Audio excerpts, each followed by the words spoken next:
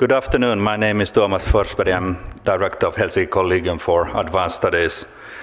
Before our uh, China's Aatos Erkko visiting professor Molly Andrews will be introduced to you, let me say a couple of words on the, uh, on the collegium and the professorship.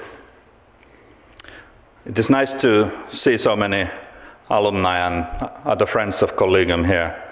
But for those who would not know, the Collegium is an independent institute of the University of, of the University of Helsinki, founded in 2001 after the internationally recognized model of institutes for advanced study um, to foster interdisciplinary research, curiosity-driven interdisciplinary research in the humanities and social sciences. Collegium is one of the most internationalized units of the university. Currently, we are hosting around 40 researchers representing various nationalities and career stages from postdoc to full professors. For our call for next year's fellowships, we received again more than 300 applications from all over the world. I am also proud to announce that in the recent research assessment of the university that was conducted last spring and the result of which were announced in September, the Collegium received the grade excellent, both for the quality of research as well as for the research environment. Jane and Aatos Erkko visiting professorship in studies of contemporary society was donated to the um, uh, to the um, university and the collegium by the Jane and Aato, Aatos Erkko Foundation 10 years ago. And this scheme has been a true success. The aim of the professorship is to focus on themes of topical significance to contemporary society and social justice including the future of the welfare society, globalization, cultural conflicts, pluralism, and environmental issues. The scope of the field may also include research on the cultural and historical background of themes concerning contemporary society. This flagship professorship at the Helsinki Collegium has been able to attract year after year distinguished world-class scholars representing different interdisciplinary research orientations. The role of Erkko professors in stimulating research, building community and creating prestige during their stay has been immense. Molly Andrews is professor of political psychology at the University of East London. Her research project here focuses on East German memory politics. In less than three weeks' time, it will be 30 years since the Berlin Wall was opened. For many young people of my generation, or when my generation was young, um, that was a formative political experience. After the lecture, you are cordially invited to the reception in our common room next building, Fabianinkatu 24, third floor.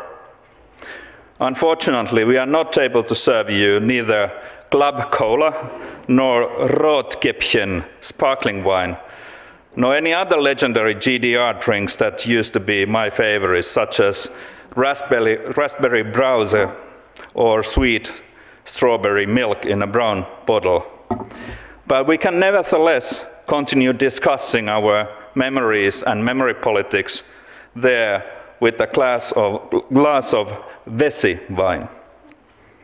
Professor Andrews and her today's topic will be introduced by our Kone Fellow Eneken Laanes, Senior Researcher at the Under and Tuglas Literature Center and Associate Professor of Comparative Literature at Tallinn University. Please.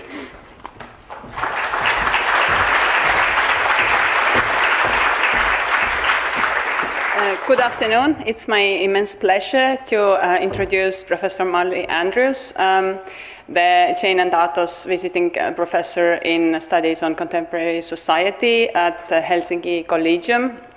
Uh, Molly um, Andrews is professor of political psychology at the University of East London, where she also um, directs the Center of Narrative Research.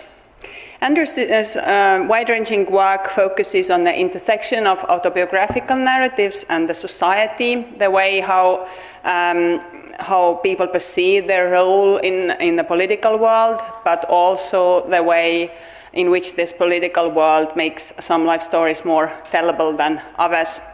Uh, and throughout her career, she has conducted um, uh, various major um, life history projects. Um, so she has studied the life stories of lifetime socialists in the UK, the anti-war um, activists uh, in the US, um, also the memories of the Wende uh, in former East Germany, uh, and also uh, the testimonies given before the Truth and uh, Recon Reconciliation Commission in South Africa. Molly Andrews has published three monographs. Uh, the first one, Lifetimes of Commitment, Aging, Politics, Psychology, uh, published by Cambridge University Press from um, uh, 1991 and reissued in 2013. Uh, deals with the links between um, lifelong political commitment, uh, social identity, and aging. Her second monograph, Shaping History, Narratives of Political Change, again from the University of, um, uh, from Cambridge University Press from 2007, uh, focuses on the relationship between um, history and uh, uh, biography and features some of them some of the um, case studies from, from these um, projects I, I, mentioned in the UK, in the US, um, in Germany, and um, in South Africa. This book uh, won the Outstanding Book of the Year award um, by the American Education uh, Research, uh, Research Association. Her latest book, um, Narrative Imagination and Everyday Life, uh, from Oxford University Press from 2014, deals with the um, role of storytelling uh, and imagination in, um, in aging education and um, politics. She has also edited numerous collective volumes, but I will um, mention just one here, um, one of these, uh, um, which is titled Considering Counter Narratives, Narrative and Resistance from John Benjamin uh, from 2014. Uh, which she co-edited with Michael Bamberg. And this um, uh, collection, which was based on a, a um, special issue in the journal Narrative Inquiry, has been influential in, uh, or even groundbreaking in, um, in theorizing the concept of counter-narratives in, in narrative studies. Uh, Molly Andrews also serves on the editorial board of five journals, and her work has been translated into Chinese, uh, German, Swedish, Spanish, and Czech. And last but, not least, and I really want to mention this as a scholar of life uh, stories, she's a very empathetic listener to her colleagues um, and has been immensely supportive uh, to many of us at the Collegium uh, already in these past month and a half. Um, her, her, talk today will deal with the promise and limits of political forgiveness and the East German memories of the revolution. So please join me um, in warmly welcoming Jane and um, Aatos Erkko professor Molly Andrews.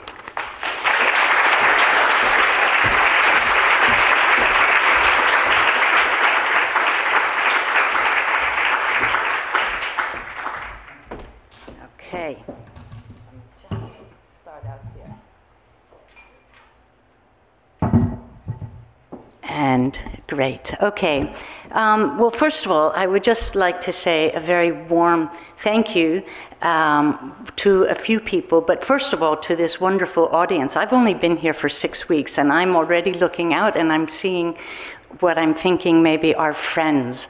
And um, um, it's quite a strange thing to arrive in a country where you don't really know anyone and you don't have any family and you don't know the language. And within such a short period of time, people really have reached out a hand in all sorts of ways. And I, I, I wanted really to say thank you, first of all.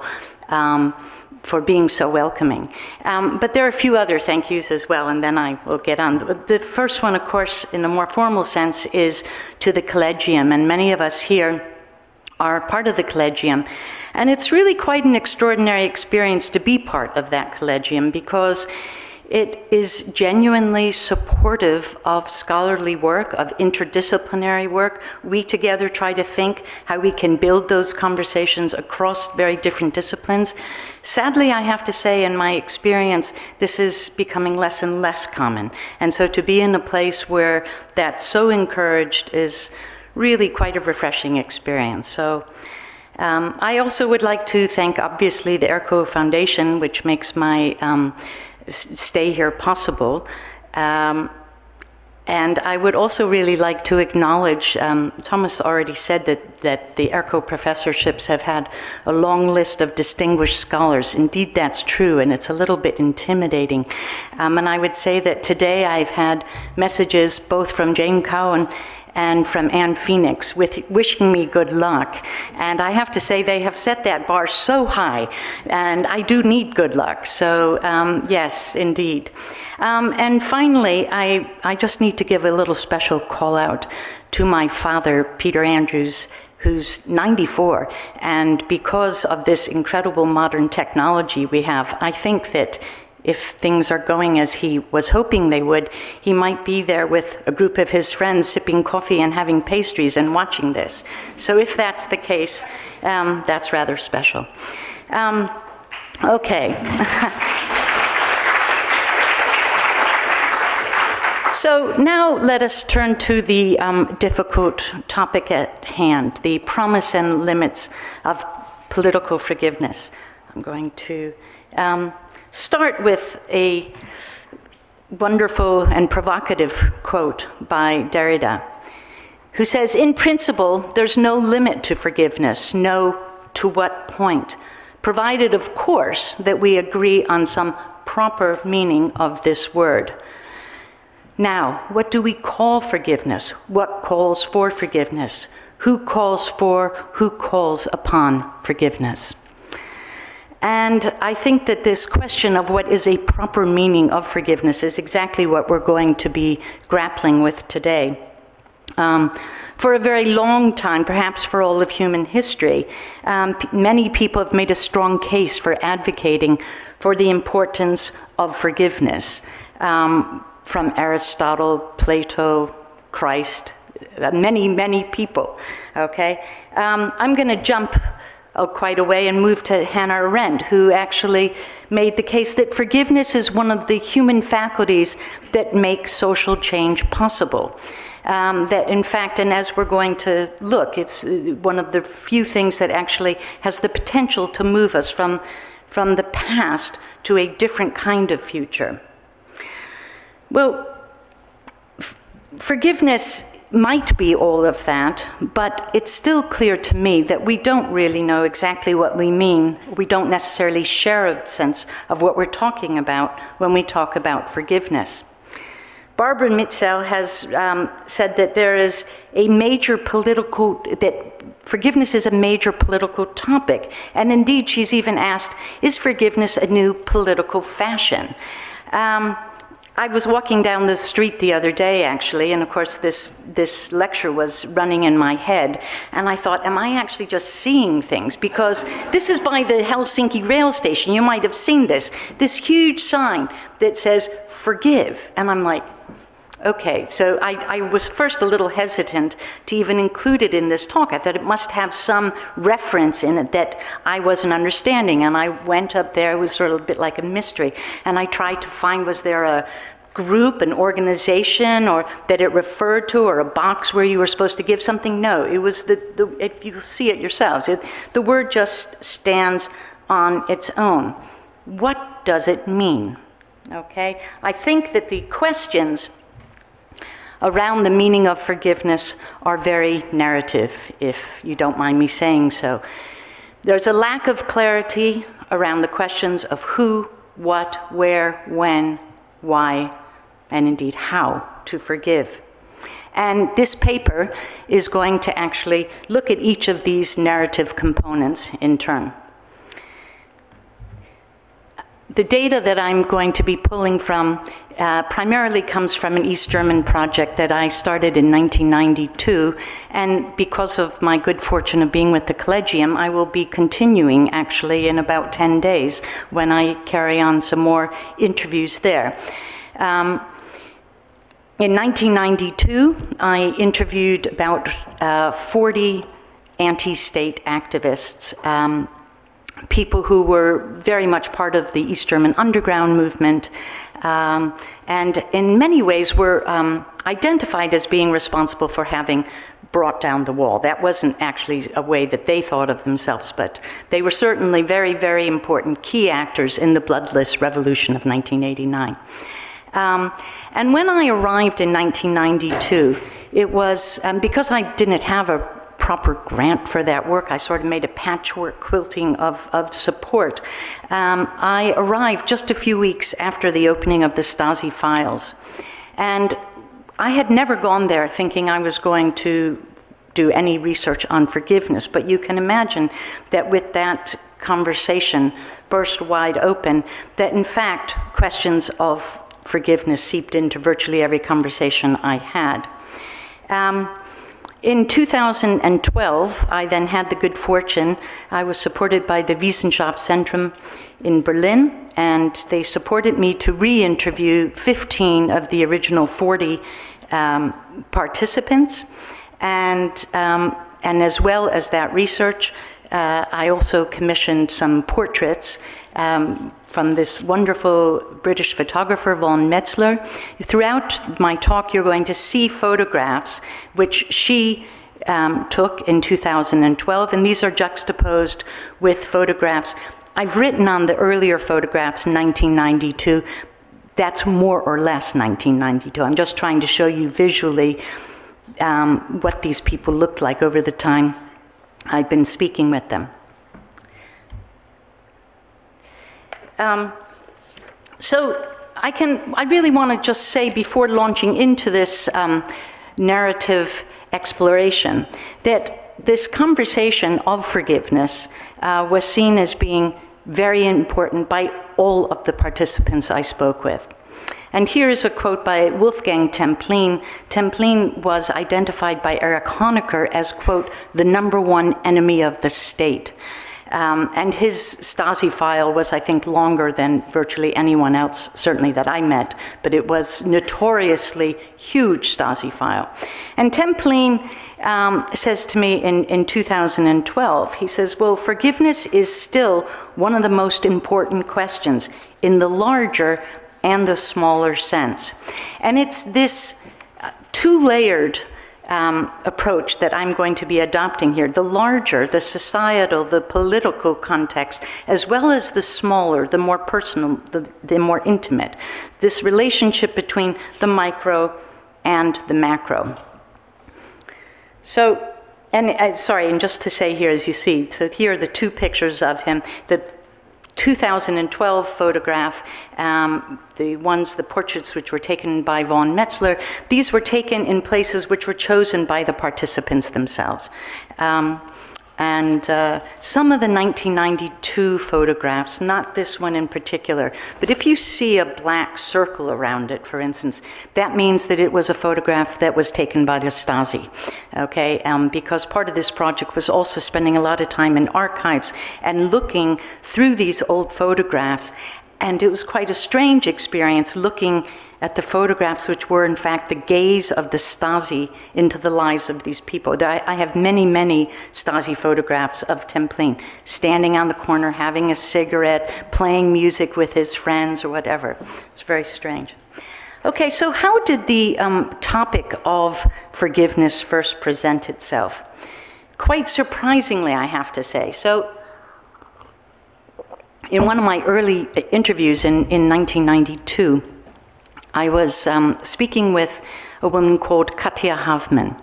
And Havemann was a very, um, she, she was a very brave political activist in her own right. She was part of the group Women for Peace. Um, and she was an, activist herself, but she was also, and perhaps more notoriously, also the wife of Robert Havemann. Robert Havemann was the symbol of East German resistance. I sometimes say he was sort of like the Martin Luther King of the movement towards for, for more democratic socialism in East Germany. And for the last two years of Robert Havemann's life, um, he lived, they lived under house arrest in their home in Grünheide outside of Berlin. And, and then he died. And so I had this good fortune to have an interview with Katja Havemann, and I asked her, I think quite naively now as I look at it, I say, well, could, could you forgive the Stasi for what they did? Because effectively they robbed her of the last two years of her life with her husband, being able to go on walks, and they were, you know, they, they were confined to the space of their home. So could you forgive them? And this is what she responded to me. She said, no, it actually works in quite a different way to that. They still can't forgive us for what they did to us. We are the living guilty conscience. We are still alive. We experienced it all we are also still witnesses. We were naive in extending too quickly our forgiveness. We had hoped that they would readily say, We were really wrong about this one. We imagined they would also feel relieved when they finally were able to come out of this role. I was stunned when I heard this. I, I was so surprised, and, um, and it was one of those few moments when you really feel like You've heard something very different that is very much against what you're expecting to hear. I can tell you that I spent the next few years thinking about this question and indeed researching this question. Um, in terms of the narrative analysis of the forgiveness, this, this immediately shows us the question of the who, who should forgive whom, is very tricky. Okay? There is this idea of the quote, offended offender Okay? She says, it's they who cannot forgive us for what they have done to us. We are desperate to forgive them. They do not want to enter into that conversation. You're going to see a repetition of this theme as we move on. But let's now move to the second question. If we don't know who to forgive, well, do we know what should be forgiven? That's also a difficult one, especially in the context of a dictatorship. Um, here I use the work of Digeser, who talks about the complexity of forgiveness in authoritarian regimes. I'm just going to read this quote. He says, The scope of this moral spillover can vary widely depending on the nature of the wrong and the knowledge and freedom of the citizenry. In oppressive regimes, the number of collaborators may be quite large, even though the avenues for action are narrowed considerably.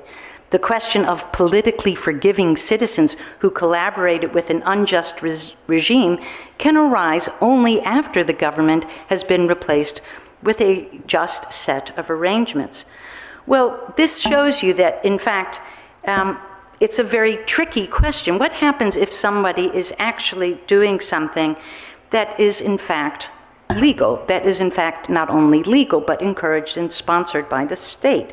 In the um, situation of East Germany, the question of who is a perpetrator and who is a victim is very, very difficult to ascertain.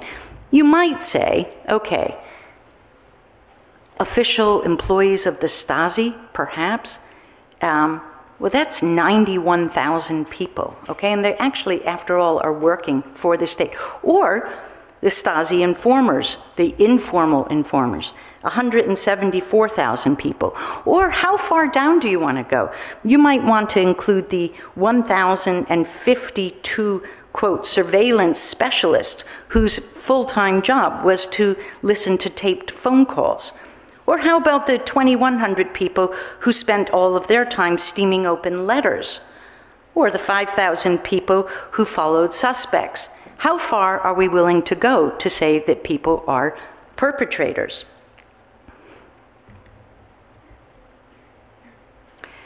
As Ruth Reinecke, who um, was, she still is actually, an actress uh, at the Maxim Gorky Theater, says to me in 1992, she says, Yes, of course, you, you, we have to be able to forgive, but what? It's not, that, that's not at all clear. And in, in another conversation with a, one of the participants, Annette Simon, she says to me, Well, my question is can I forgive the country? Okay? And yet, is that the way forgiveness works between an individual and a country? The problem is summarized here by Wolfgang Thierse. He says, well, in the, in the case of the GDR, he says there are real perpetrators and real victims, guilty ones and innocent ones, and then in between the many others, we who live there, busy getting by, more or less decent, more or less clever, more or less cowardly or brave. And I think if we had to actually come under the moral microscope in our own society, probably most of us would be in that last bit too those of us who more or less lead our lives. Um, so it's really not clear not only who is to be forgiven, but indeed what. What are the actions? Let's move then um, to the question of how. Um, the account I'm going to give you now comes from Konrad Weiss, a documentary filmmaker. And I, he, he tells me about a situation where he's unable to forgive someone who has spied on him. This is in the interview I have with him in 2012. And he tells me about this person, and he says, No, I cannot forgive him because he was, quote, defending his actions till this day. That's the real problem. I, I, need to actually backtrack just for a moment here and tell you that part of my methodology was that I would actually send people the recordings of our interviews from 20 years earlier, as well as the transcripts. And in preparation for our interviews 20 years later, they would have read them, okay? So both he and I had just read and listened to a conversation between the two of us 20 years earlier.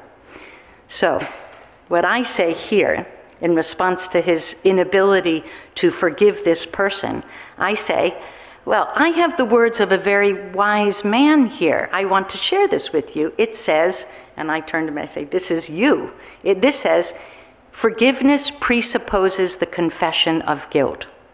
An insight. Do you remember this? Because those are the very words he had told me in 1992. But he was saying those words from, I want to say, a more hopeful position. But now, 20 years later, he's talking about someone who had really infiltrated his life and was still unable to apologize. So I say, I quote this forgiveness presupposes the confession of guilt. And Weiss says to me, that's what makes it so difficult. I remember these thoughts well, and they are important. But the problem was that the overwhelming majority of those concerned did not take that step. I mean, those who worked for the Stasi, to acknowledge what they did only under pressure, but never to come out with the whole thing on their own, to speak about it, to stand up for it, and to show that they had thought about it. To put it in general, somewhat rough terms, the persecutors expect their victims to forgive them without any apology. That's not possible. That's the principal conflict in many of these cases. So for him, the critical question is that there needs to be both an acknowledgement and an accountability. Okay? Again, as we've seen in earlier examples, he is very keen to forgive, but these are prerequisites for that. For me, the most outstanding work that has been done in the area of political forgiveness continues to be Donald Shriver's book, published now 25 years ago, An Ethic for Enemies Forgiveness in Politics. And Shriver's very powerful book identifies four constituent components of the meaning of forgiveness. The first is that both parties have to agree that a wrong has been committed. That means that memory is suffused with moral judgment.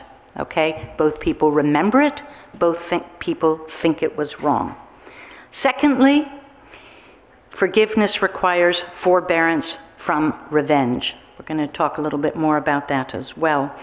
Uh, third, there must be empathy, and he makes this very clearly distinct from sympathy. There must be empathy for the enemy's humanity.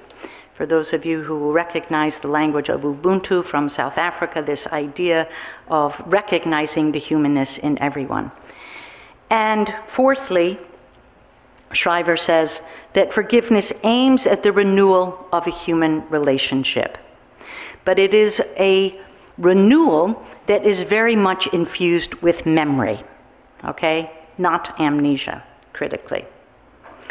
So, building on this work, and after following my conversation with Katja Havemann in the early 90s, I spent a lot of years doing work on political forgiveness. And I basically published a um, framework which basically said that forgiveness requires, it, forgiveness is a relational uh, encounter.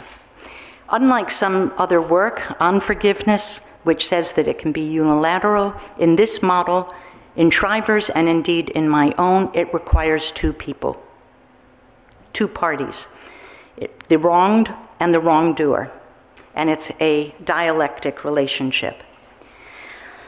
And it requires a confession, ownership, and some kind of an expression of remorse. Now, this is still under this sort of general uh, umbrella of how does forgiveness happen. So it is this relational thing. One of the things that happened in um, East Germany was that there was often a lot of acknowledgement about what happened, okay? But there was not really uh, an expression of remorse. Because of the situation, because the existence of, of the dictatorship, many people argued you can actually see how this happened, right? And instead, they sort of offered up a explanation, a justification but not really an apology. Now, the relationship, I'm not going, especially with so many philosophers in the room, I daren't really go into um, uh, much here about the difference between apology and apologia, except that to say that the words are very, very different and have a very important, different history. Apologia, as we know, dates back at least, I'm looking to Hannah here, you're going to have to correct me here, but it dates back at least we know to Socrates and Plato and Aristotle and um, the idea that there is somehow a speaking in defense of a position. It's not until the late 16th century, I believe it was 1590, that the word apology first appeared um, to indicate a, an expression of regret and you can imagine that if you are looking for an expression of regret and instead you receive a justification or a explanation, these are very, very different offerings, and they are received very, very differently. And we are going to look now at the example of um, some of the tensions between this. So the next person that I'm going to tell you about is Irena Kukutz. Um, she was um, she was again one of the Women for Peace, one of the founding members of, of Women for Peace.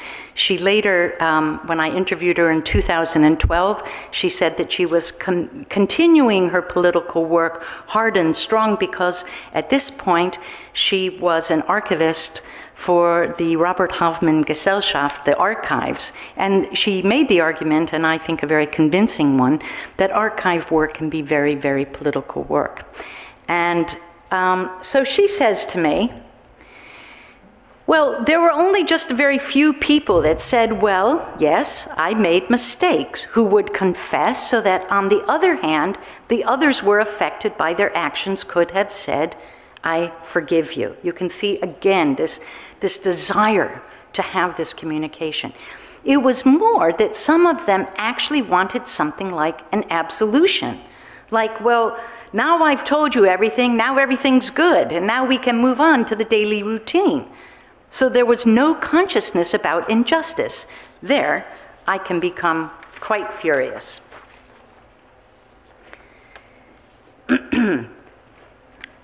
Hold on.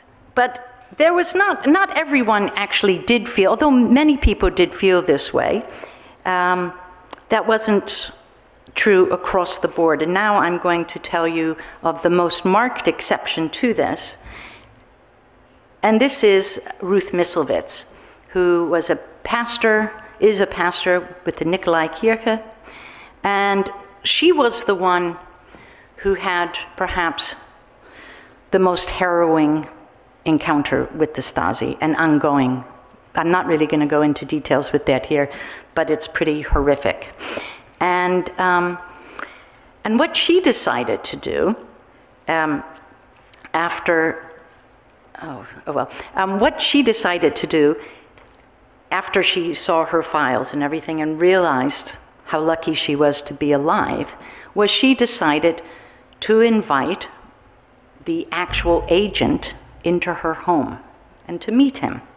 She said, I did once have a meeting with a Stasi officer who had been responsible for me and my husband and the peace circle at Pankow. When she says responsible for me, that's an extraordinary euphemism.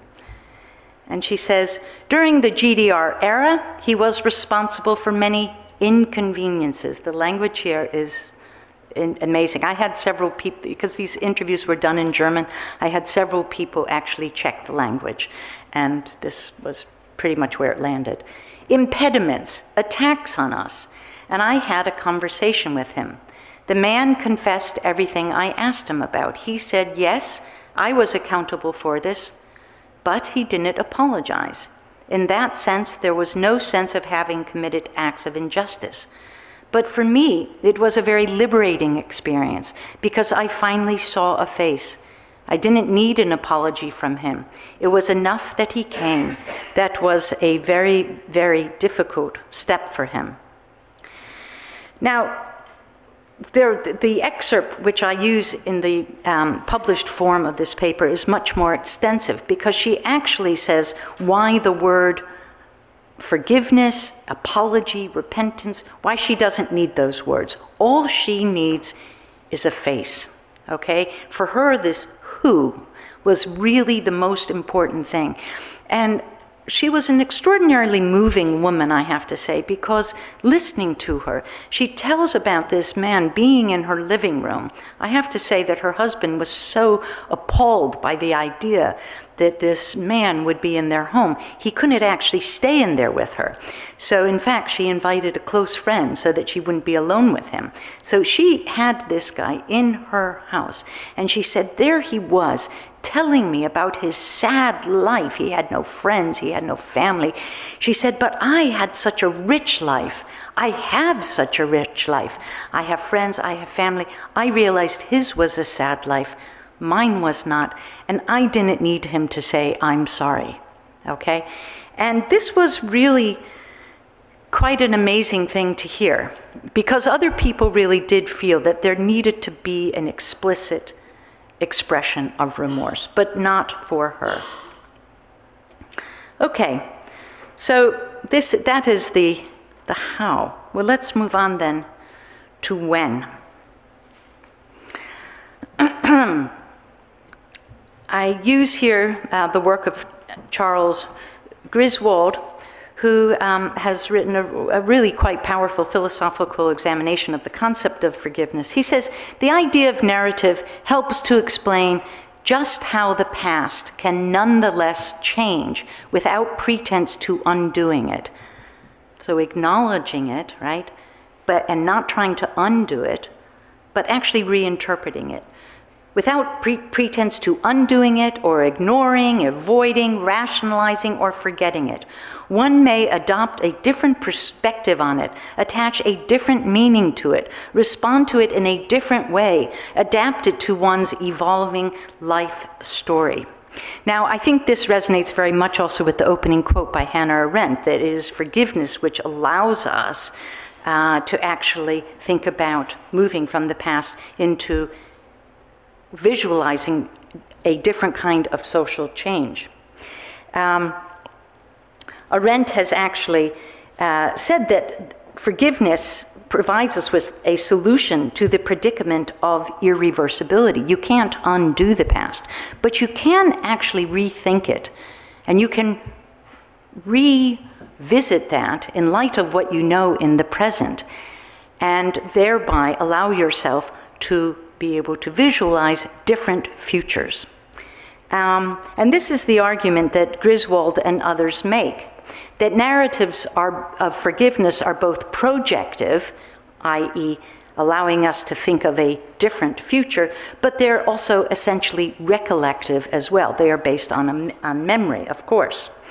Um, so that this is a process of reinterpreting the past, which creates a possibility for a future renewal. So the role of narrative imagination plays a central, if not a, a defining role, in the process of forgiveness. The past is reframed to include the story of the offender, and this pursuit is influenced by a reimagining of the future, including questions about the ideal life. And here I also include, importantly, what is the life that one will want to look back on? After a traumatic rupture, does one want to feel, and my life ended there?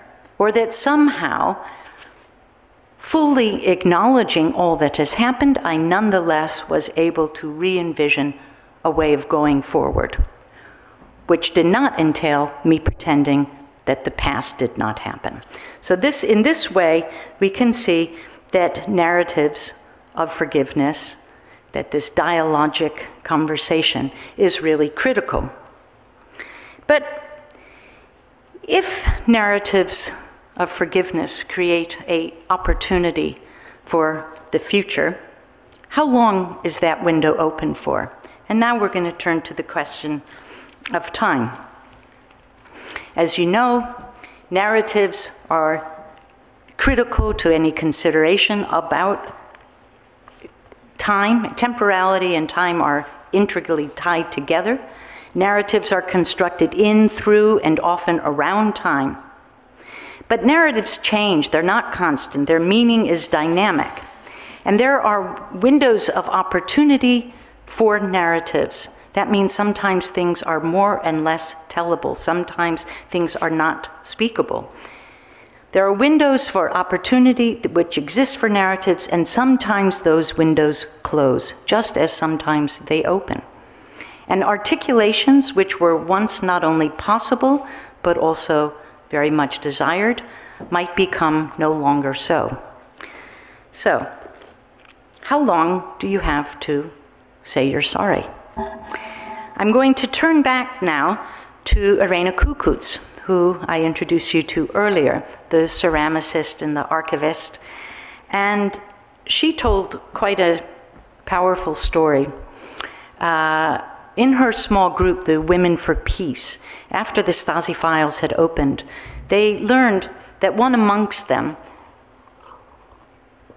had been an informant. Now, any of you who have engaged in political work, much less clandestine political work, will know what that can imagine, at least, what that would feel like to have somebody who you think is your most trusted person to find out that after your political meetings, they would go back and report on you to the state. This is what happened in this sisterhood because they were just women. And so, two of the women, Katja Havemann, who I introduced you to in the first quote, and, and Irena Kukutz, both, both very close friends and both part of this Women for Peace, decided that they would interview Monica, Moni, uh, to try to make sense of how she had done what she had done. They they had a series of interviews with her. They published a book about this. It was really one of the most, uh, I want to say, brave and committed projects to narrative, interpersonal narratives, as well as political, that I've ever heard of. I was, as you can imagine, very well fascinated by this. This book made a big hit in Germany, okay? And after the book was published, this event happened. So Irena is telling me this. She says, There came a letter for Monica, Moni, where a woman was saying thank you for her bravery and the great accomplishment to write that book. Yes. And because Monica is dead, I opened it and I answered her back because in this letter she explained that she has kind of the same history, but that she hasn't spoken with her girlfriends about that. And I became so angry about that. And first of all, I told her that we wrote that book, Katja and me. So I wrote her a really bad letter. And in this letter, I told her that now she doesn't have to tell her friends anymore. Everything has its time, and she should wander around with her story. She was really hurt, and full of anger, she answered. So I say to myself now, well, they should keep their stories to themselves. So I, I say, hmm, 20 years of silence. And she says, Yes, so late. And then they want to get acknowledgement. And there are others which then come and say, Sudden, Suddenly in the past you did what? Like the Stasi stories are always present. People that want to become clean now after all that time, yeah, well, it's too late then. So you can see she had quite strong feelings about that. Um, not everyone did feel that way. There was quite a wide um, range of difference of how people felt. I'm going to read to you a very different response. Um, this woman is Ulrike Poppe. Ulrike Poppe is now, she is still a very, very well-known person uh, in Berlin. Uh, she was, in fact, in her youth, she was one of the founding members of uh, Democracy Now! But she later became the Brandenburg Commissioner for the Consequences of the Communist Dictatorship. And in fact, she, um, one of her key jobs was actually trying to help find ways to reintegrate former Stasi people into um, the community. So this interview is literally the next day. It's the day after my Irena Kukutz, and I'm still catching my breath from that one. So I ask her, Well, what do you think about this? Is there ever a moment when it all becomes too late for perpetrators to come forward? And she says, Well, no, I don't think there's a moment when it's too late. I believe, on the contrary, that that takes time. Some people don't speak about weights which are heavily on their soul until very late. That's true for perpetrators as for victims. My father will be 90 next year. I visited him yesterday, both of my parents. Throughout my entire childhood and afterwards, he never spoke about the war, and we never asked. He was a soldier on the Eastern Front, a medic. He experienced terrible, gruesome dying all around. Yesterday, when I visited him, he started to talk. All of these stories he lived through in the Baltic states. And then my mother started to tell of her flight from the Russians all the way to the Elbe River. That's coming only now. In my circle of friends and acquaintances, their parents don't tell their stories until the very end of their lives. That's why I believe that this has its own time.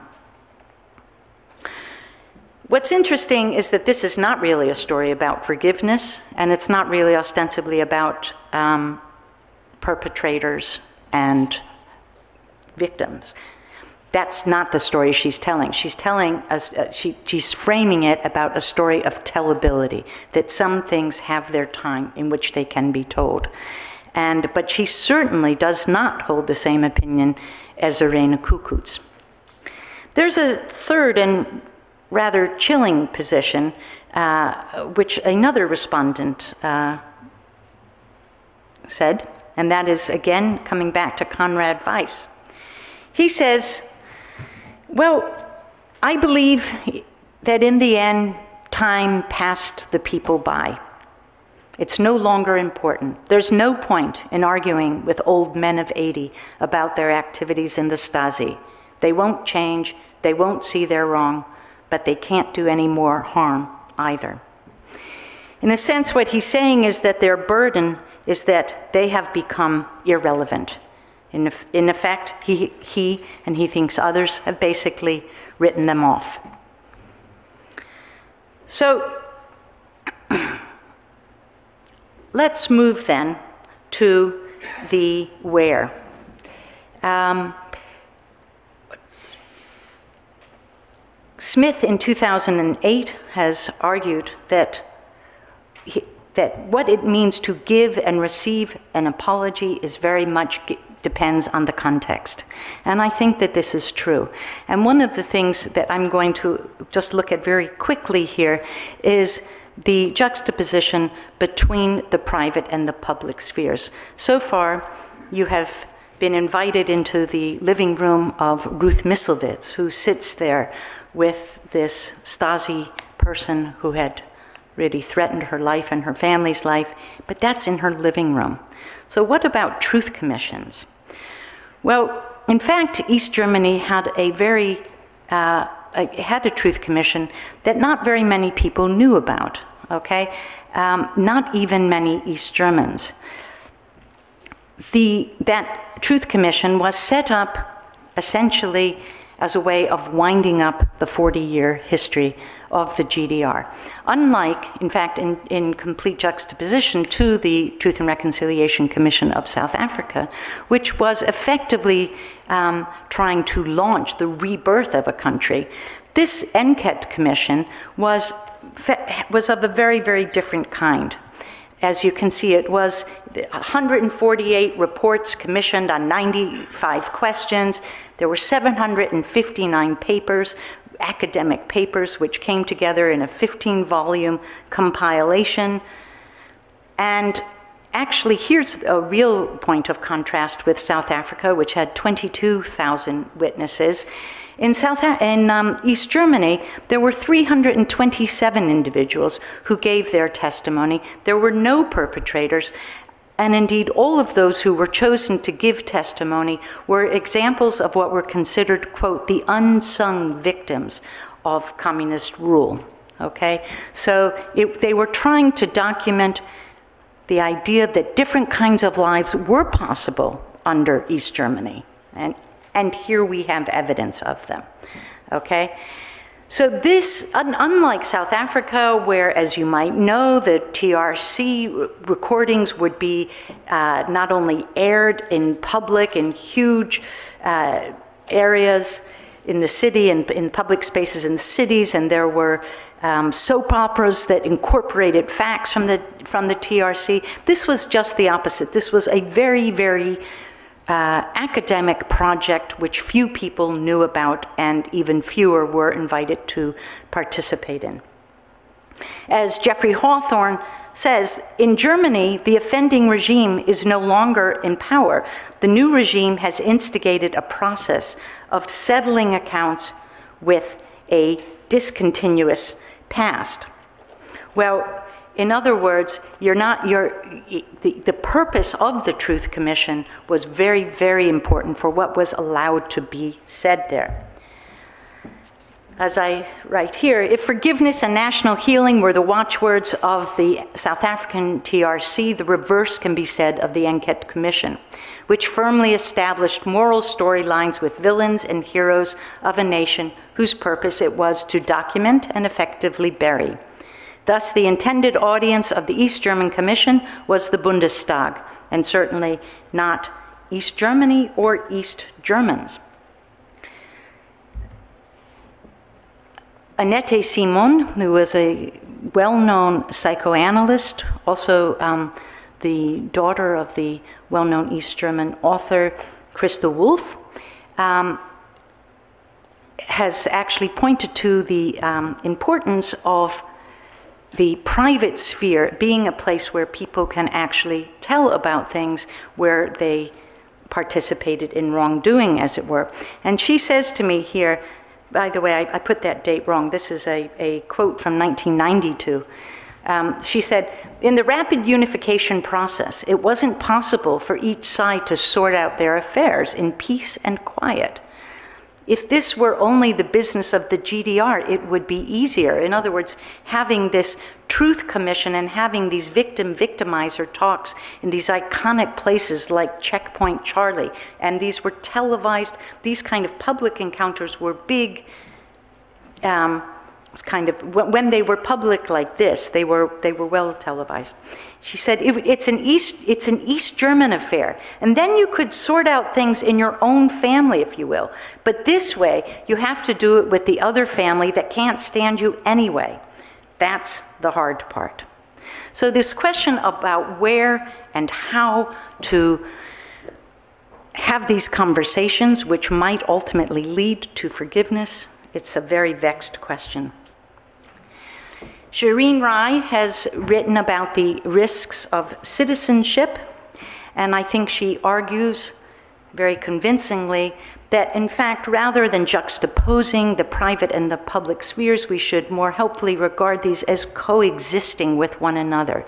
And I think if you think about the East German context and you think about um, whatever, Ruth Misselwitz's uh, living room um, and these other more public forms, you see that these things are happening at the same time. Rai says it's extremely important to think, well, who is the audience for this performance? And to recognize that public encounters these, these uh, Täter-Opfer, victim-victimizer talks, for instance, that were happening at these iconic places like Checkpoint Charlie, these are sort of more public spectacle. There's a very particular script which people expect to be followed. But maybe they have their own role as well. But equally, private encounters, such as that of Misselwitz, um, have their limitations as well. Surely they lack that uh, stamp of public acknowledgement, which truth commissions, for instance, are established to set up. So this is part of the problem. Well, turning then to our last question, well, why, why should we promote forgiveness? There are a lot of assumptions, and I started with some of them to begin. There are assumptions that, that forgiveness is something that we should really work towards, that it's a good thing. Well, there are several assumptions about this. One is that forgiveness potentially releases us, it releases an injured and an offended party from a traumatic past. It gives you the possibility for a different kind of future. There's a, a not very well examined um, assumption that what works well for the individual works well for the community and the other way around. In fact, many people who have given testimony in public spaces like truth commissions have said that they did so despite the personal pain that this caused them, despite the fact that this is like ripping off scabs that have only just begun to heal.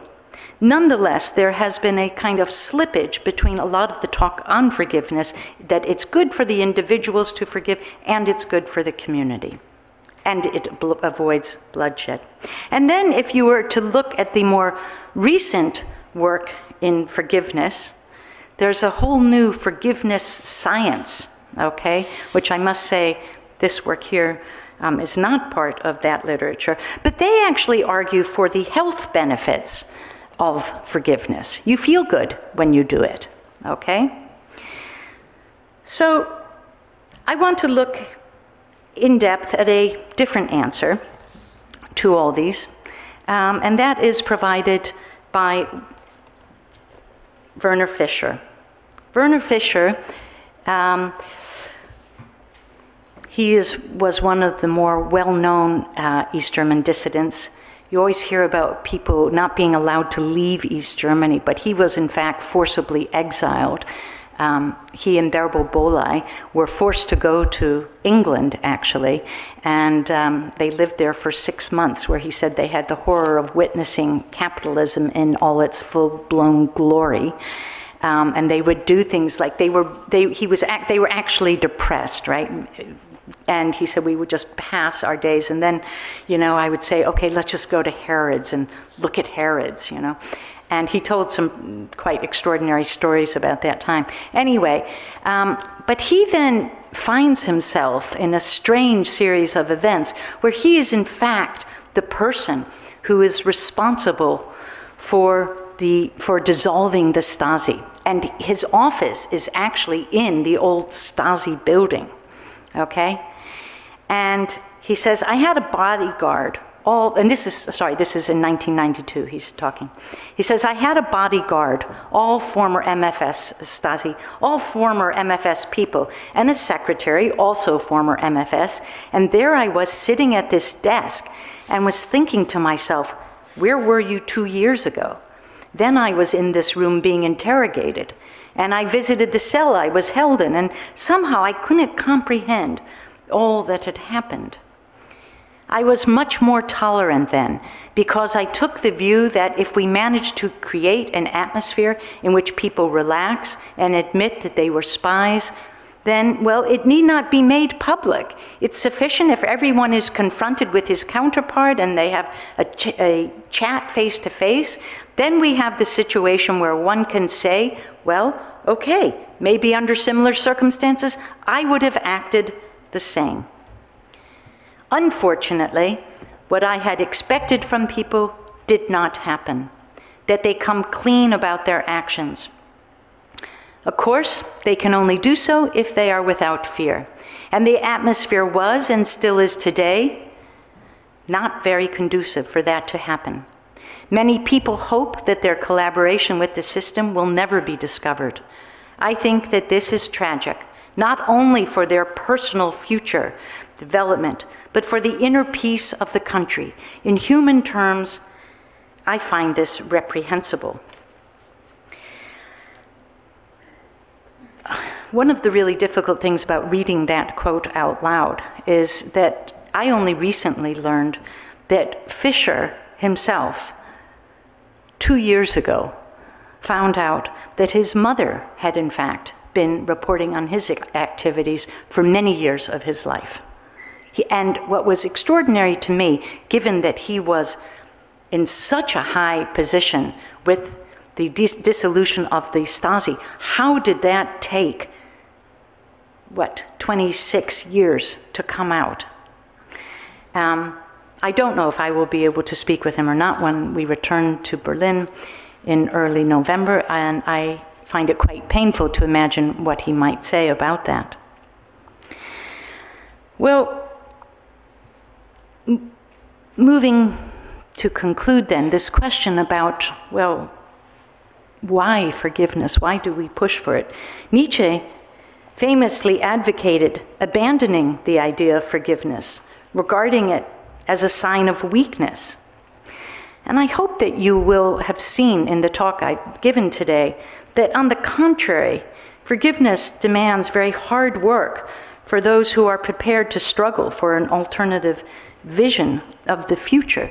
But here, when I talk about forgiveness, I'm talking about a forgiveness which includes acknowledgement and accountability of what has happened. Without those, a forgiveness that actually turns its back on acknowledgement and accountability would, in the words of John Dewey, be an instance of, quote, presumed good serving as a cloak for actual bad. I want to turn now again to Derrida, who says, Forgiveness is not, it should not be normal, normative, normalizing.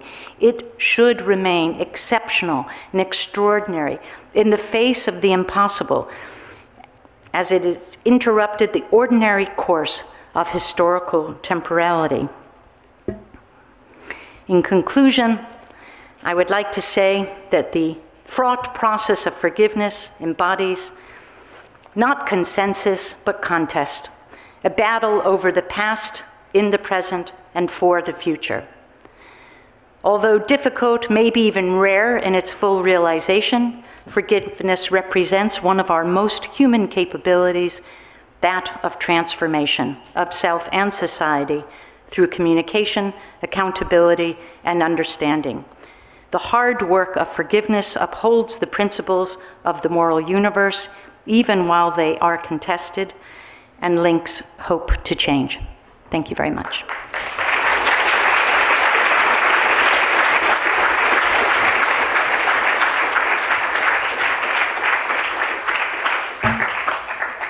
Thank you, Molly, for this uh, very rich and engaging talk. Uh, and I will uh, open immediately for questions. Um, questions to Molly Andrews. Yes. You two first, and then. Yes.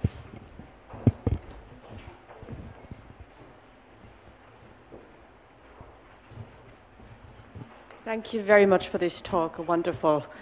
Ah, thank you. yeah, yeah, no, wonderful talk overall, and so many fantastic um, glimpses into the past and present and future. Um, the one question I have is maybe a bigger one that goes also back to your earlier work. And um, I'm wondering about why forgiveness needs to be always a relationship and why it can't be more an act because one might imagine that, um, and I'm wondering if this came up in your narratives. Did any of the people speak of the possibility of forgiving? Because, as you point out, sometimes it may be impossible to know whom to forgive because it's very unclear who are the perpetrators. And whether there might be something there in terms of forgiving a situation which no longer exists, which cannot be personified in any individuals, but rather is directed toward a power relationship which was abusive and a regime which is now gone, whether you see any such possibility. Um, I, would, I would say, th thank you, Mia. Um, I would say uh, that the people I spoke with would argue that there are a cluster of words which are often put together and that they should be disentangled. And that there are many reasons and ways to want to move beyond the past. But that the question of forgiveness, you really do need to know who has done what. And the, I have to say that the work that I'm talking about here um, is really in juxtaposition the, the, to the major work in psychology. There's not been a lot of work in psychology on forgiveness. It's kind of strange given that it's like you would think a bread and butter concept, right? But in fact, especially when I began this work in the 90s, there was virtually nothing. But the most dominant model of forgiveness actually advocates the possibility of a unilateral forgiveness, that the highest stage of, of a moral stance is that forgiveness which simply says, I forgive you. I forgive you, Lord, they know not what they are doing. Okay? Now, I know that for some people that's a very important framework, but the people that I spoke with actually felt that that's also a very irresponsible framework. That people, that if you actually do that, yeah, you might feel better. You might think, okay, that helps me to move on. But actually, for the, if you, for lack of a better term, for the purposes of the moral universe, it's not good enough, okay? And that people need to be accountable and so there are other things you can do. This is, this is also, as you probably know, one of the um, big critiques about what happened in South Africa, the, the project of truth and reconciliation, they're like, you know, these things sit in real tension with each other, and much less forgiveness. I can talk a long time about the forgiveness in, in, in that model as well. Um, but the idea that these things all run in the same way, in the same direction, they don't. They hit against each other all the time. And we need to ask ourselves why is it that we think it's so important that you forgive someone? Uh, why is it that we're put in, in the Truth and Reconciliation Commission? I'll just say this one thing. Um, there was a clear push for the language of forgiveness. Um, there was a 13% of the 22,000 people who gave testimony spoke about forgiveness. There was a study done following up with those 13% of people, and they went back to them and said, okay, so you spoke about forgiveness here. What did you mean? Most of those people who said that said, you know what?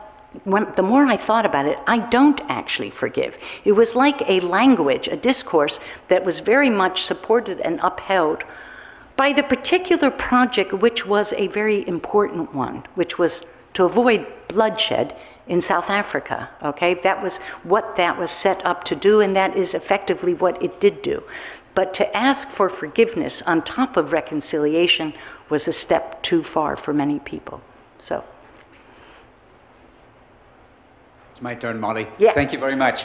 Um, I really enjoyed your talk. Uh, uh, I wonder if you can comment on the fact that your interviewees are all political, intellectual elites uh, who are extremely articulate, who have obviously thought about these issues, and whether you would get um, a different picture of forgiveness if you were to hang out with people who were damaged, you know, uh, industrial workers, for example, who might have been really damaged by, by the Stasi and may, so I'm, I'm sort of introducing a sort of Yeah. plus dimension here. Yeah. Where- um, yeah. yeah. but what I would like to say is, um, and I should have probably said more about who those people were.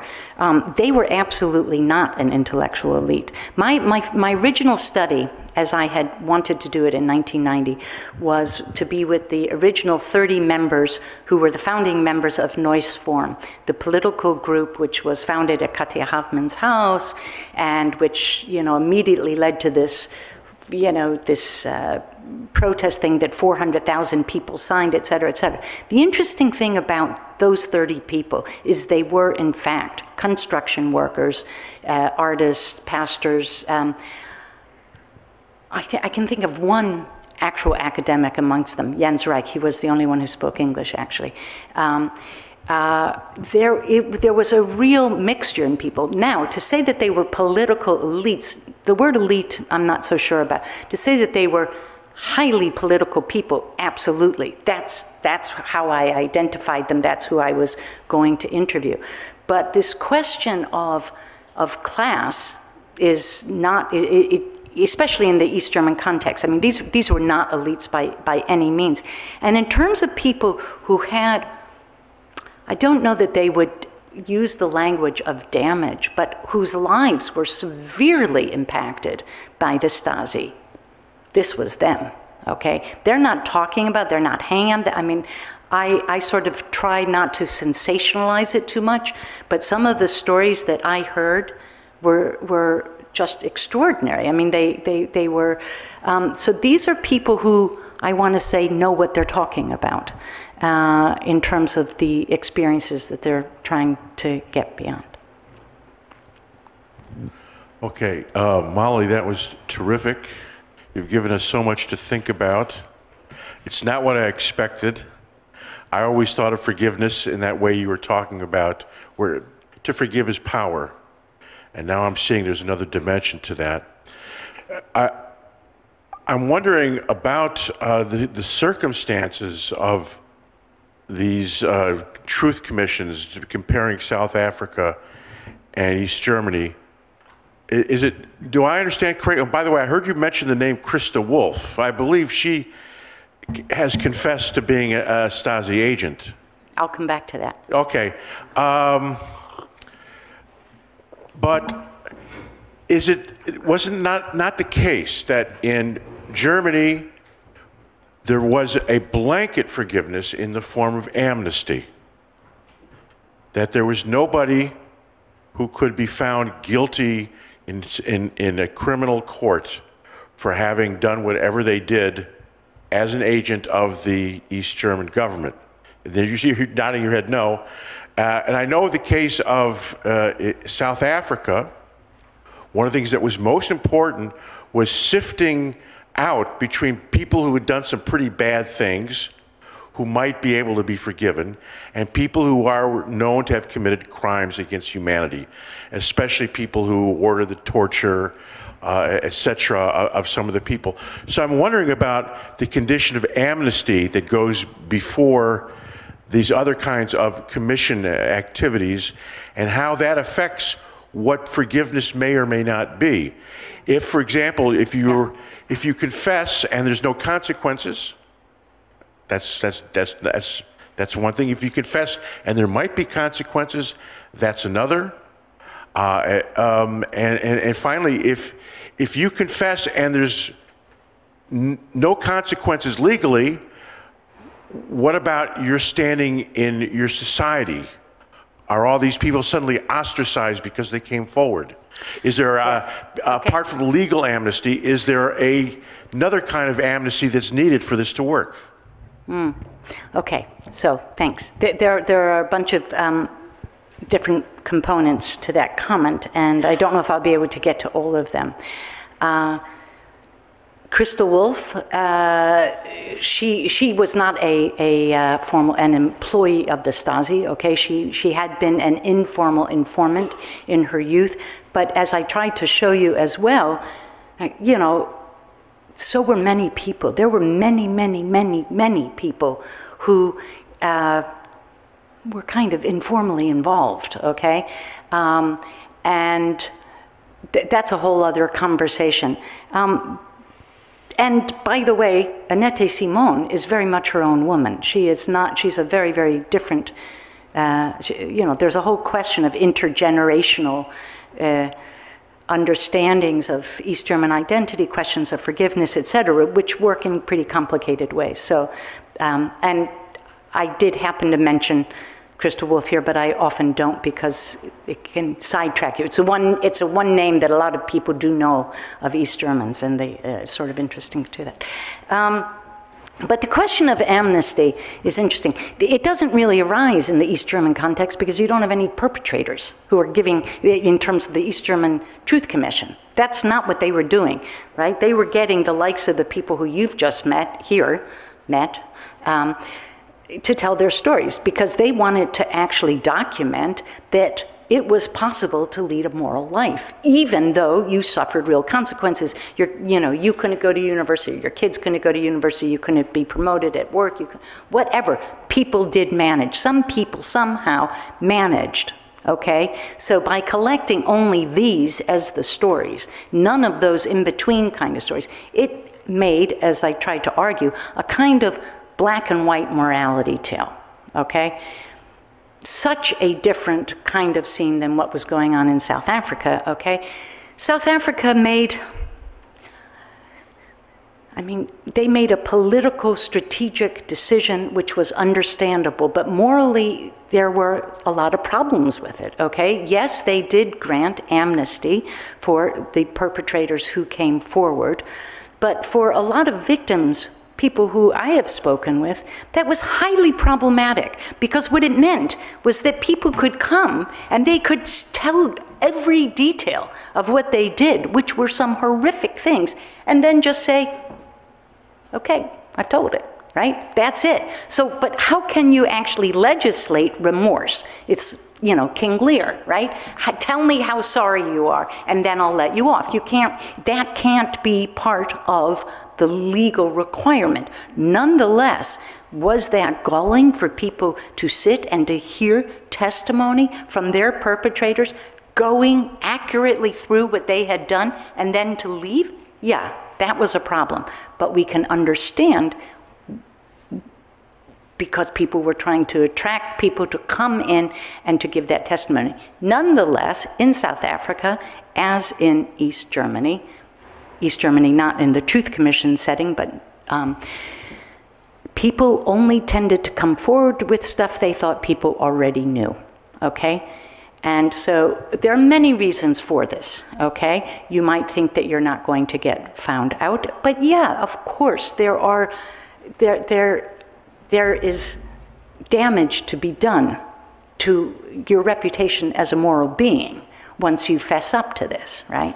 So um, this was one of the real problems. And that's what Werner Fischer, in the last um, extended quotation that I was reading from, that's what he was talking about. He said, look, we don't have to go public on this thing if you don't want. We could have it just you and me, and then I could understand how you did it.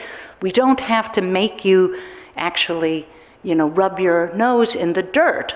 But we do need you to say what you've done, okay? And even then, people want to do it. Now, because perpetrators were not asked to be part of the Truth Commission. It, did, it happened outside of that context.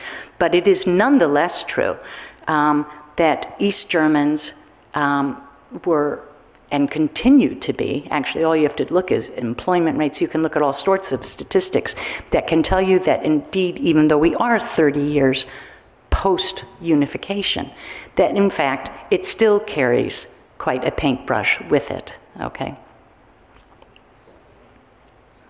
My name is Rene Liebert. Uh, I'm a former Finnish ambassador to Berlin, and I've spent a lot of time in, in, in Germany, and, and, but I've never worked and never lived in, G, in the GDR.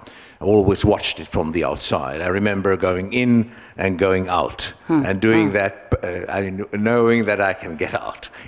Uh, what I was actually missing in your uh, in your presentation, which was uh, which which I very much liked, is that you made several references to references to South Africa, but you did not say a word about the other German moral bankruptcy, and that is the Third Reich, because. You, in a way, you have a parallel there. I, I, can, I could imagine that you would, in your book, uh, make references to this aspect. But still, that, that is the, I mean, you had the Allies to care of, of, of everything until it was, uh, until the Allies left it to the Germans. And then things uh, smoothly continued. And I'm not taking, I'm, I'm, not talking about the Jewish problem as such, but I'm, the whole, the whole way of Vergangenheitsbewältigung, which, which yeah. is such an important aspect to understand Germany. As, as to, as to perpetrators, uh, many of them were incarcerated, so don't, uh, don't think that it was a smooth process, starting with Erich Mielke, who was actually, who was actually sentenced for a murder committed in the 1930s, uh, uh, uh, killing two Prussian uh, police officers. Thank you very much for your comment. Um, i am going to go to the second part of your comment first and then to the first because it's really substantial. Um, I think that, yes, some people were jailed, but a lot of people, and especially this group, which is a very particular group, we have to say this is not a generalizable thing, these are a very particular group of people.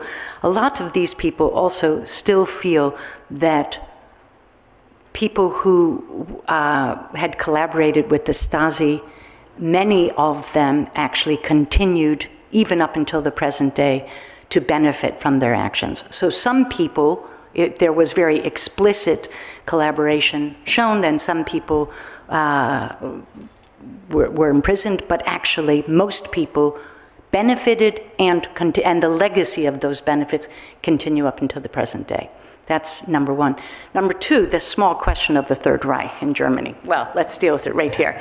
Um, uh, you're absolutely right. It's a, it's, it's, it's a really um, key, what can I say, theme that, and I want to say two things about it. One is that the comparison uh, between the dictatorship of East Germany and the Third Reich is something which this group of people feel deeply offended by, okay? And we could have a long conversation about that, but they feel that that it loses its nuance because people say you have dictatorship here, you have fascism here, and they're all the same. And for them, their very country was actually built on fighting fascism. Okay, we know that. Um, and their whole idea. Now, what I want to say, rather than going down that road, because it's quite a long one, what I want to say is that the people who are like Annette Simon's age, okay, these what I call the GDR babies, the ones who were born just after the formation of the country in the late 40s after the war, those people actually have said to me, a lot of my generational work has been with those people who say to me, we had too much respect for our parents' generation because they were anti-fascist fighters.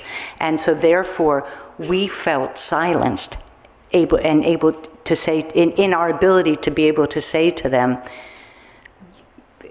a critique of the authoritarian state.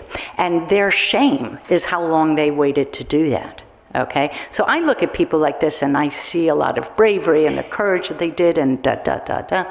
They look at themselves and they said, we had far too much respect for our parents' generation who were the anti-fascist fighters. Now, we know very well. Yeah, yeah, but I'm not, but this is not a comparative study. This is not, I mean, if I was doing West German work, it's, it's different as well. I'm really just talking about how these people understood um, what they were doing. Yes, they were, um, but they felt, they would argue that their, their country exists for that reason. Now, one of the interesting things and one of the really sad horrors is even in the early 90s when I was there. And you'd be traveling alone in the East and you hear these, you know, you see the, it wasn't as obvious then as it is now, but it was still apparent and it was already frightening. And I have to say, by the way, I, I am Jewish and I would be traveling alone at night and you see these young guys and they've got swastikas and they are, and it's really scary, right? And they're singing all these songs. And it's like, really, did that just rise up in the last two years? Because I don't think so. And how is it that all those people actually are singing the very same songs that were sung during fascist times? I don't think, I think they learned them someplace. I don't think just because they weren't singing them in public spaces doesn't mean they weren't hearing them in the home. And I think what is very upsetting about what's going on now is we see the deep rootedness of that. So I think it's a, it's a really, really important question, and it's, um, I certainly don't mean to undermine it at all. Yeah. Well, thank you very much, Molly. Has been a huge talk. A uh, lot of, lot of, lot of think, uh, food for thought. Uh, I lived most of the 90s in Berlin.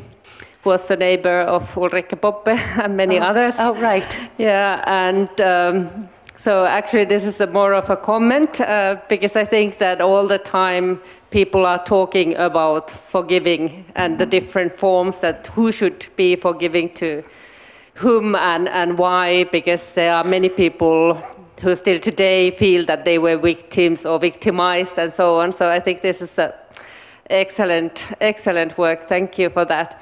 But then a little thing that I wanted to ask you about, because somehow when you were talking about the comparison with the South African case, I was uh, reminded of a talk show, a TV show that was run in Germany in the 92, 93, 94, I don't remember which year, where they were kind of getting people who were victims of Stasi and then the perpetrators together in the talk show and there was, for example, I remember that there was this one couple, like the husband and the wife, and they were, the other one had been kind of um, surveilling the other. Yeah, yeah, the, yeah, I don't remember wife or the husband. Vera Wollenberg? I, don't remember anymore, but it was the most crazy show where, you know, the, you were watching and eating popcorn and seeing these people to tell each other that, uh, you know, I was married to you for 30 years and all the time I was spying on you. Yeah, yeah, yeah. yeah. I just wanted to hear yeah. your comment because cool. I, I, had forgotten about that. Yeah, well, that's really, really interesting. I think the case you're talking about there is Vera Wollenberg and her husband Knud. They were, because she was a member of parliament as well.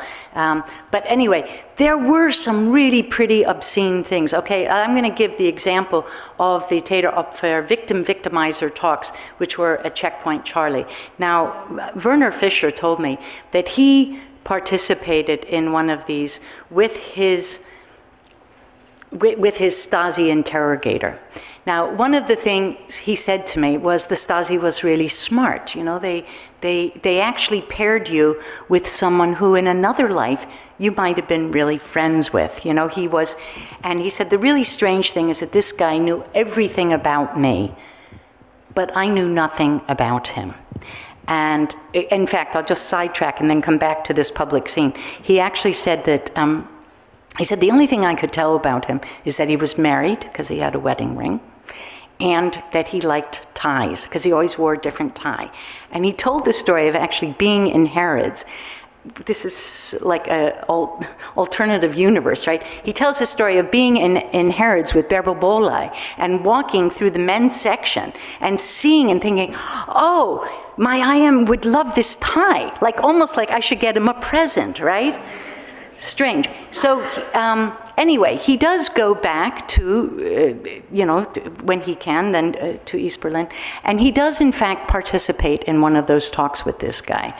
And he says to him, the guy says to him, you know, we should be friends, okay? You and I, they loved us. We were a great act.